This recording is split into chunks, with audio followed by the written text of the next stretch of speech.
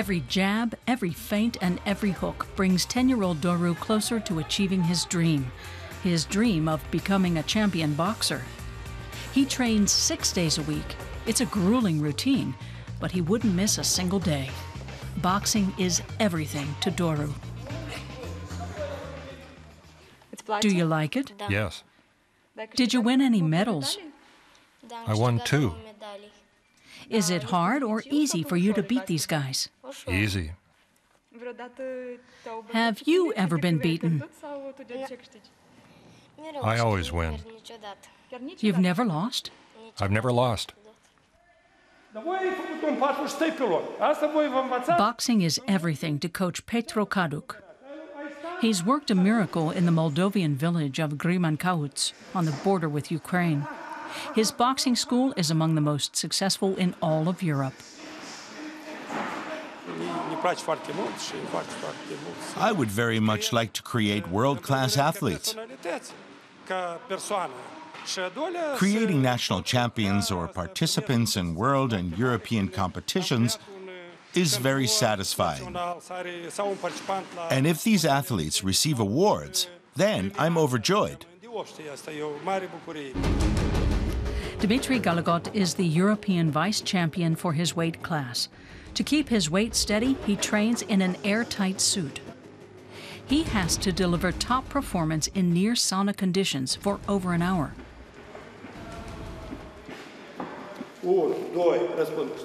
Petro Kaduk is known for his rigorous training methods. But these boys feel honored to have him as their coach. They each have their own dreams of greatness.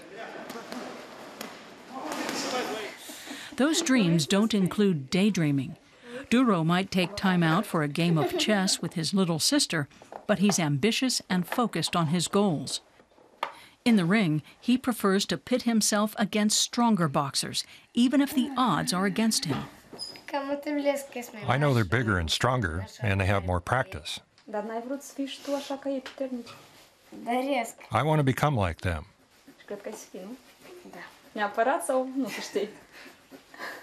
And I will. His mother is proud of him and his determination. Doru's father used to box. Later, like hundreds of thousands of Moldovians, he worked abroad for years. Now he's returned to his village and his roots. This is where he's got his family. Petru and his wife Svetlana have big plans. The town council has given him use of an old school building. He's planning to turn it into a boarding school, a sports academy of his own. Over here, we're going to build a multi purpose hall, 42 by 24 meters in size. It'll have viewing stands and provide space for competitions and training for other sports. He's not yet certain where the money for the academy will come from. The state finances the boxing school, but Moldova is poor and struggling just to cover daily expenses. The money doesn't really flow. That's the main problem. We sign contracts and transfer money, but the money comes in very slowly because the country's financial situation negatively affects the boxing school as well. As soon as school's out, Doru hurries off to boxing practice. He's been at it for about a year.